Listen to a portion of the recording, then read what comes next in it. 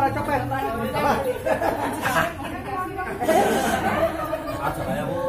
Ada kali gue. Kayak Gipsi, gipsi. Oh iya iya. iya. Ah, iya iya jangan. Dia bilang sama kita dia bawa kunci. Eh, kamu nggak muat ya sampai begitu banget? tahu Tiara. Nyinggung saya Tiara nih. Eh, nggak apa-apa.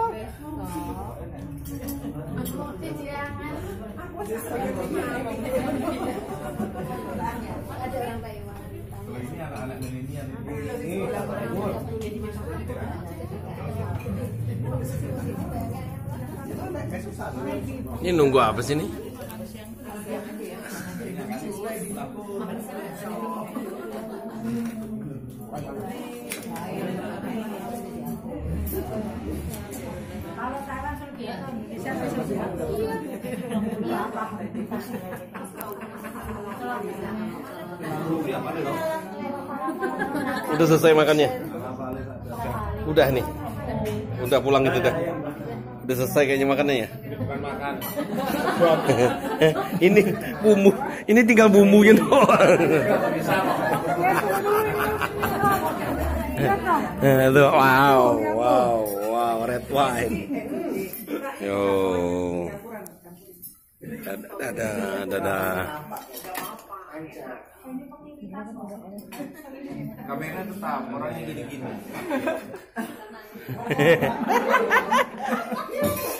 Ini udah selesai ya? Udah.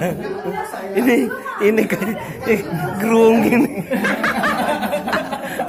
gerung gitu.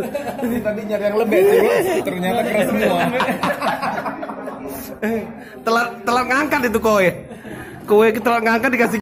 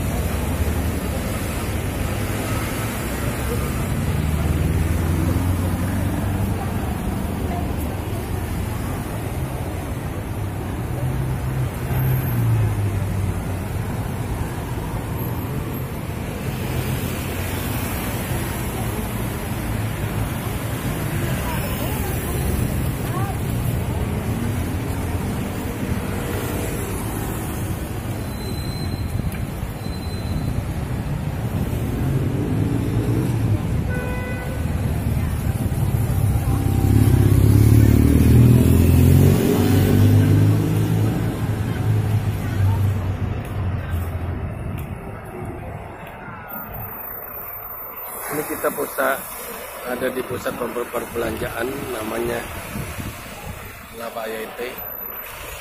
Ini tempat-tempat belanja bermerek. Ramai sekali.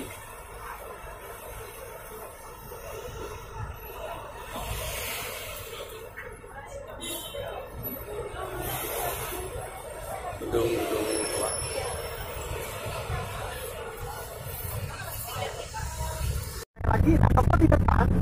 bangunan kaki kita tuh adalah namanya Madrid atau gereja Maria Magdalena yang di mana dulunya ini adalah sebuah kuil yang dirubah oleh Napoleon menjadi sebuah gereja Maria Magdalena ya. Dan di kuil ini uniknya apa? Di dalamnya itu atapnya bolong tengah bulat. Kenapa begitu? Karena zaman dulu mereka belum ada jam ya. Mereka buat bentukan waktu mereka pakai itu. Nah kalau hujan gimana? Ya bawahnya kan bolong-bolong ya jadi nggak mungkin apa namanya banjir ya. Kenapa?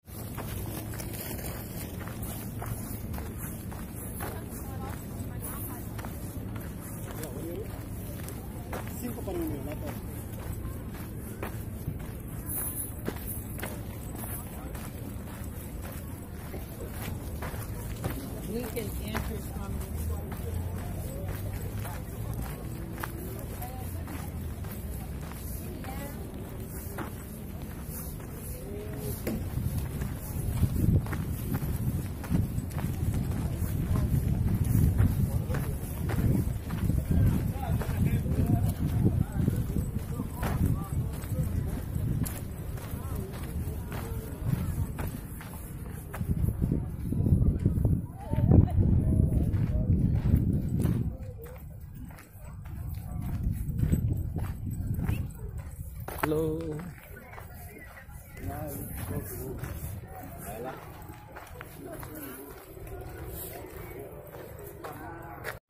saya di Menara Eiffel. Eh, tepatnya tanggal tanggal 11. Kita sudah berada Menara Eiffel. Memang cantik sekali. Namun sayang memang trik panas. Panas sekali. Lagi panas.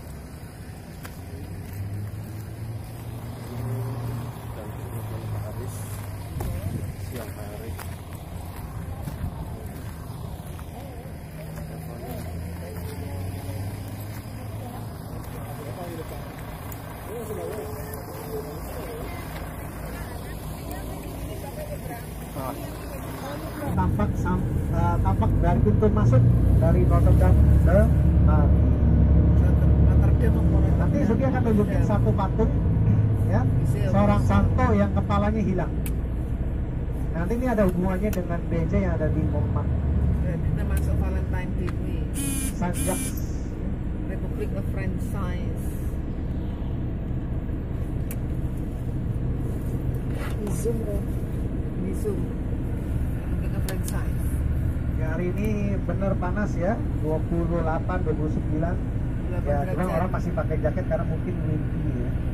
Anginnya 14 km per jam. Ya, masih oke lah.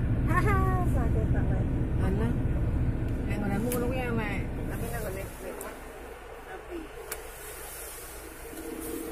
ketok aja. Motor banyak ya Ya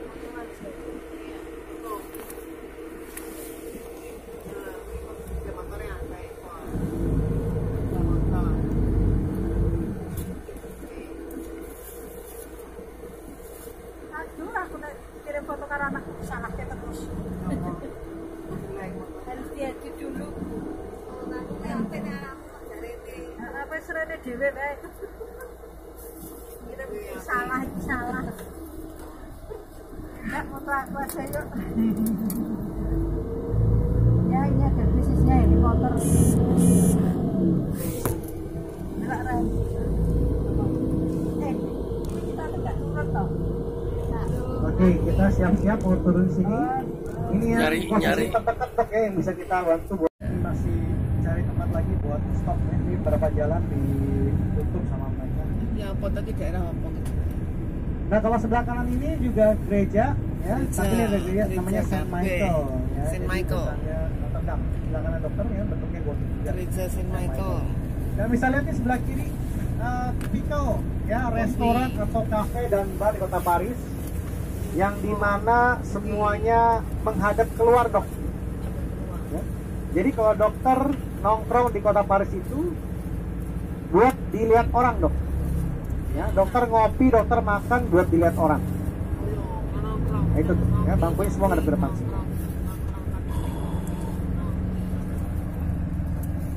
ke depan semua ya.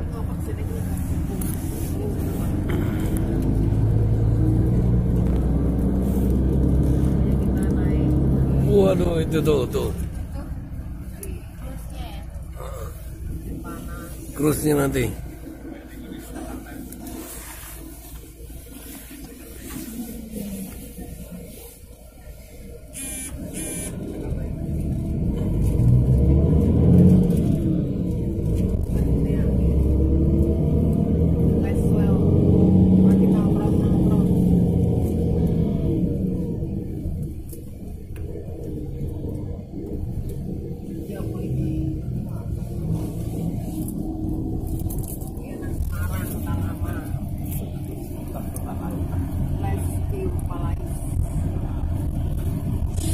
Nah, oke. eh, tadi di sebelah kanan itu ada namanya Hotel Kecil, ya. Hotel Kecil ini adalah balai kota, ya. Kemudian juga sebagai tempat apartemen tinggal dari Marian Colbert.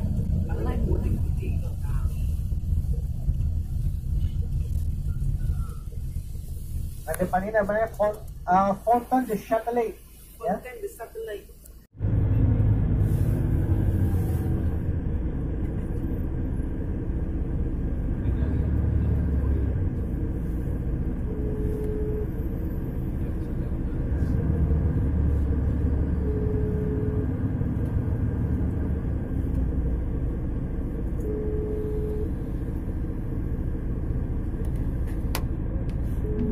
kiri dokter ini juga ada satu bagian eh, cukup tua ya di kota Paris.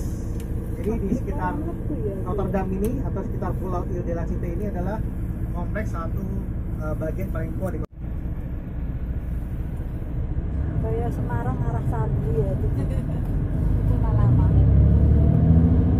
Perasaan Semarang arah Sabu ya milik itu. Oke, ya ini bisa lebih dekat gerejanya dan yang unik dari gereja ini adalah selain bentuknya gotik, lalu bentuk apa namanya kaca-kacanya, yang menarik adalah mereka banyak uh, menggunakan ornamen-ornamen namanya gargoyle. Apa tuh gargoyle itu seperti setan-setan ya.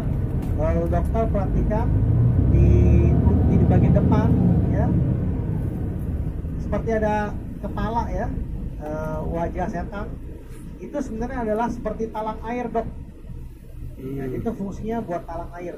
Emang kita fotonya di mana? dan kalau gereja itu selalu mengibaratkan eh, kenapa menggunakan ornamen gar, apa gargoyle atau setan-setan di luar?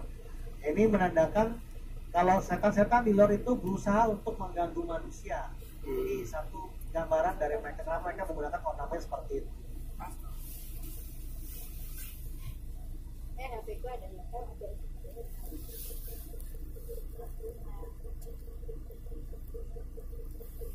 dan di daerah dekat Dame ini juga terkenal akan satu daerah namanya Le Marais.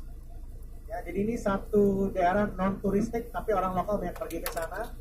Ini adalah tempat eh, maaf ya saya harus cerita seperti ini. Ini tempat komunitas LGBT ya. Nah, namanya Le Marais. Jadi dari sana dokter bisa melihat banyak bendera-bendera pelangi di situ. Tapi buat orang lokal mereka suka suka nongkrong di sana. Kalau di Prancis itu